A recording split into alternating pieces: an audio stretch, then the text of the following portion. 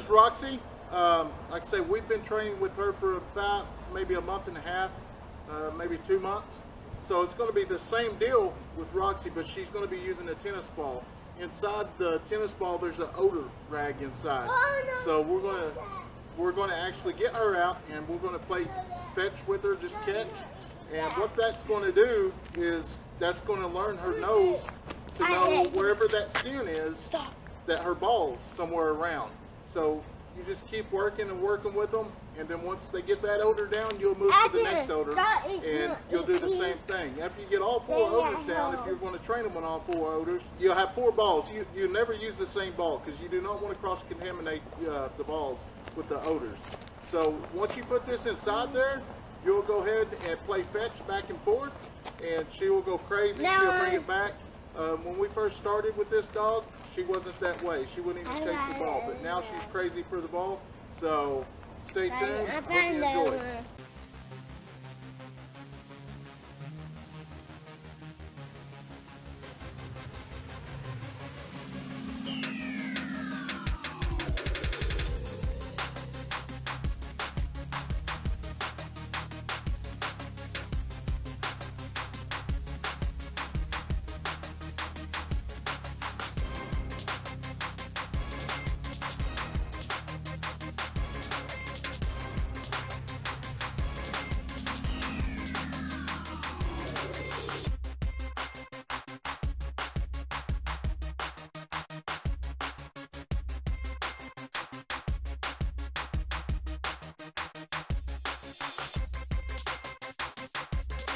After for about another week.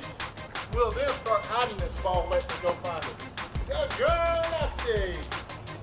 Really important that you really love on these dogs when they do that. Oh, girl. That's a good girl. Yeah, that's a good girl.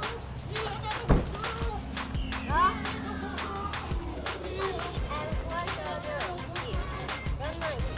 girl. You're gonna be. Good girl. Well, you have to watch her, so not get you. Go, go, Uh-uh, uh-uh, go, go. Roxy. Roxy.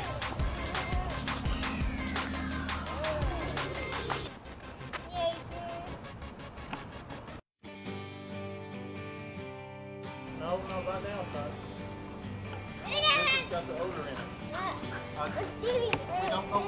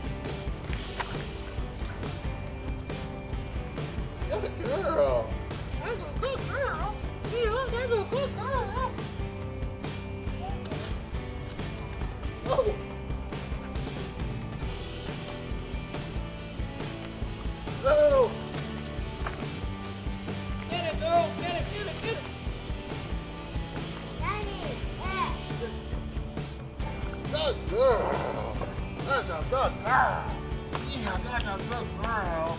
That's a good girl. See right there? She just wants the attention and loving.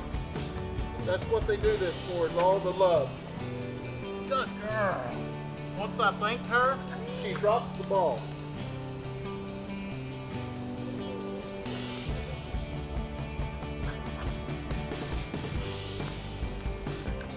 Oh, good girl. That's a good girl. Yeah, that's a good girl, Roxy. That's a good girl. Good girl. You don't want to pull too tight, especially if they got the rope in their teeth. You don't want to mess their teeth up.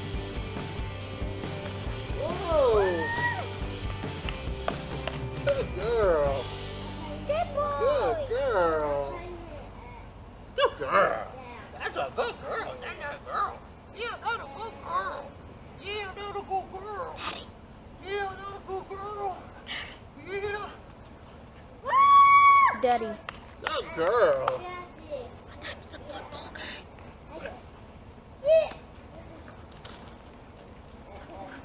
Daddy, what is what time's the football game? Good girl. What time's the football game?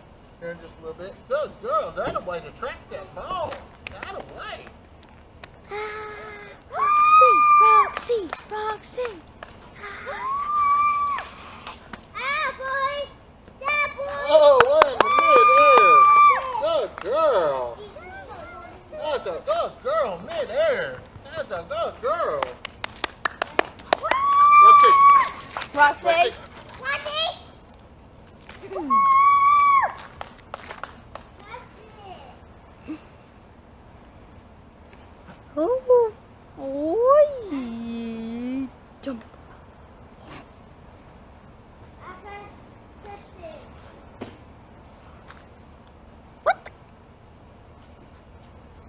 Good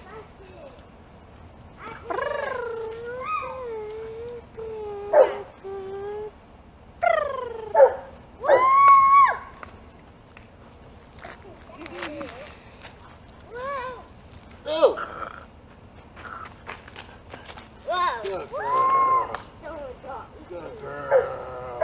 Good girl. That's a good girl. That's a good girl.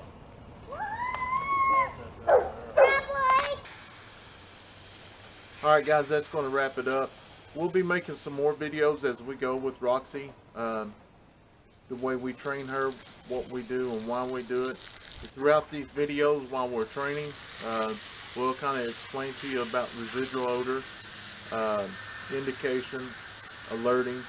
Um, like I say, now the statute laws are different from different states. Um, the way that I train and uh, how I train my dog is is to the laws here in the state of Oklahoma. Uh, for one, I never put my dog inside of a car. Uh, the reason for that is they could get poked by a needle or if they get into the, the drugs that it will really uh, hurt them, uh, especially if it's a hard drug. Um, I carry charcoal, I carry staples, I carry all kinds of items that would help him if he was in a bind or if he was to get into the drugs. Um, if he was to stick his nose in the drugs, especially uh, cocaine, heroin, or meth, um, I would charcoal him because obviously he would then he would overdose, and I've never had to do that, and I hope I never have to. But we have it just in case. This video was a little short, but as we go, we'll be making some more. I do have some other videos from when we first started training her on uh, just the, the odors. I'll add them. Uh, just a lot of it just watching her. But other than that, I hope y'all enjoyed this. If you have not yet, please hit the subscribe button below. Thank you.